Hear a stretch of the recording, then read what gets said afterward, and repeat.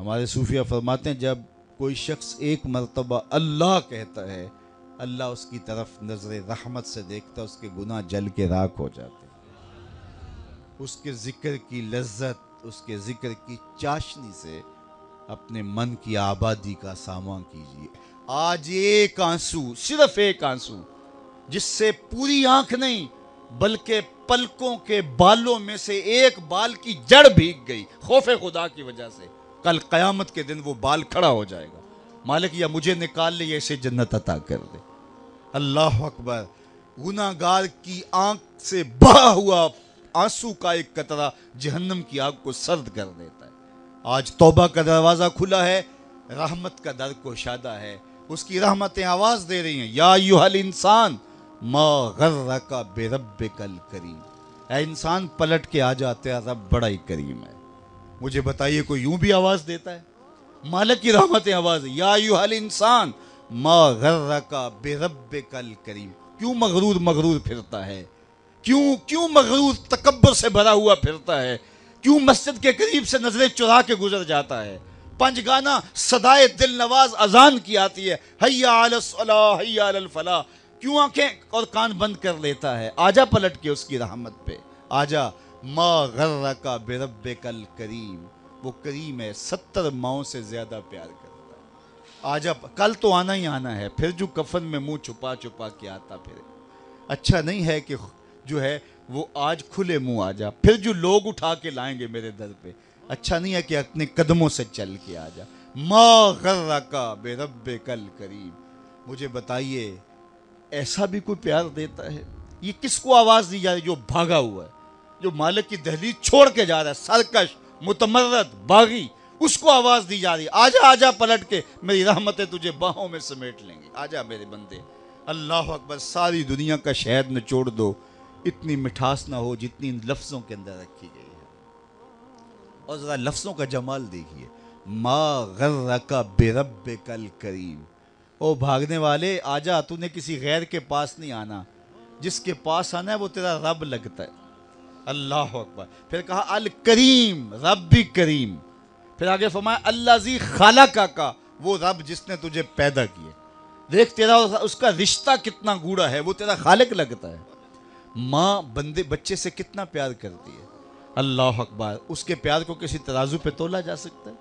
کہتے ہیں، سمندر کی پاتال تک تو شاید کوئی پہنچ گیا ہو، لیکن ماں کے پیار کا کنارہ آج تک کسی کو نہیں ملا۔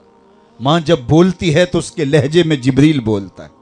ماں جب مسکراتی ہے تو لگتا ہے جنت کی ساری کلیاں کے لٹی اللہ نے اس کے سینے کے اندر درد، محبت کا وہ جہاں آباد کر دیا ہے۔ ماں تو پھر ماں ہی ہوتی ہے۔ ایک شاعر ہوا تابش۔ اس نے ماں کے پیار کا کیا نقشہ کھینچا۔ مدت ہوئی، میری ماں نہیں سوئی تابش۔ میں نے ایک بار کہا تھا، مجھے ڈر لگتا ہے۔ کہا، ایک بار میں نے کہا تھا، امی، مجھے رات کو ڈر لگتا ہے، میری ماں آج تک اسی خیال میں رہتی ہے، میرے لال کو کہیں ڈر نہ لگ رہا ہو۔ اولاد کے لیے ماں کے سینے کی تڑپتی ممتا، محبتوں کا آباد جہان۔ ماں پھر ماں ہی ہوتی ہے، ماں کی پھر ممتا ہی عجیب کائنات ہے، اور وہ بیٹے کے لیے دکھ جھیل لیتی ہے۔ اولاد کی تربیت کے لیے، تعلیم کے لیے، پیٹ پالنے کے لیے اپنا پیٹ کاٹ لیتی ہے۔ کسی کے گھر کے برتن مانجنے پڑیں۔ تو ماں اس سے بھی گریز نہیں کرتی۔ کسی کے گھر کے گندے کپڑے دھونے پڑے تو اولاد کے لیے ماں یہ بھی گوارا کر لیتی ہے۔ لوگوں کے گھروں کی غلامیاں قبول کر لیتی ہے۔ شہر میں آ کر پڑھنے والوں بھول گئے ہو کس کی ماں نے کتنا زیور بیچا ہے۔ مائیں اولادوں کے لیے کن کن مراحل سے گزرتی ہیں۔ ماں کو اپنی اولاد سے اتنی محبت کیوں ہے؟ تو آپ سب کا ایک جواب ہوگا اور وہ یہ کہ ماں نے اولاد کو جنم دیا۔ میرے بس ایک جملے کو سن لے اور اس پہ تقریر اور گفتگو ختم بھی کر دوں تو میرا آنا با مقصد ہوا۔ ماں اتنا پیار اولاد سے اس لیے کرتی ہے کہ ماں نے اولاد کو جنم دیا ہے۔ یار، جس نے جنم دیا ہے وہ اتنا پیار کرتی ہے، جس نے خلق کیا ہے وہ کتنا پیار کرتا ہے۔ یہ جنم دینے والی کا پیار ہے کہ کوئی ٹھکانہ نہیں۔ تو جس نے خلق کیا ہے، ماں نے تخلیق نہیں کیا، جنم دیے۔ تو جو خود خالق ہے، اس کا پھر کتنا گوڑا پیار ہوگا۔ ستر ماؤں کا زندگی بھر کا پیار ایک طرف اور مالک کی ایک نگاہ ایک طرف۔ تو ماں کی گود چھوڑ کے بچہ بھاگ جائے تو ماں کہتے ہیں پتر، آ جا، اتنی ٹھنڈی چھاؤں کہیں نہیں ملے گی۔ تو مالک کا در چھوڑ کے بندہ بھاگ رہا ہے، مالک کی رحمتیں آواز دے رہی۔ یا ایوہ الانسان ما غرکا بے رب کل کریم او بھاگنے والے آجا پلٹ کے، میں تیرا کریم رب ہوں۔ اللہ زی خالقہ کا دیکھ میں تیرا خالق لگتا ہوں۔ تیرا میرا رشتہ کتنا گوڑا ہے۔ اللہ زی خالقہ کا فسوا کا فعادلک فی ای صورت ما شاء رکبک۔ اس نے تیرے نقش تراشے، تجھے صورت دی، تجھے شکم مادر میں زندگی بخشی، تجھے کتنی خوبصورت آنکھیں عطا کی، چمکتی پیشانی بخشی، دھڑکتا دل دیا۔ تجھے سننے والے کان دیے، تجھے بولنے والی زبان دی۔ اے انسان، دیکھ، تیرے رب نے تجھے کیسے سجایا، سنوارا۔ اتنا باغی ہو گیا، آج اس کا در چھوڑ کے بھاگ گیا۔ آجا پلٹ کے اس کی رحمتیں اب بھی تجھے آواز دے رہی ہیں۔ اور جب بندہ اس کی دہلیز پہ پلٹ کے آتا ہے، کوئی کسی نے جرم کیا ہو، تو وہ اس کا سامنا کرتے ہوئے شرمندگی محسوس کرتا ہے۔ اور اگر سامنا وہ کر بھی لے، تو وہ سو مرتبہ جتلائے گا کہ تو نے میرے سے زیادتی کی۔ لیکن مالک کتنا کریم ہے۔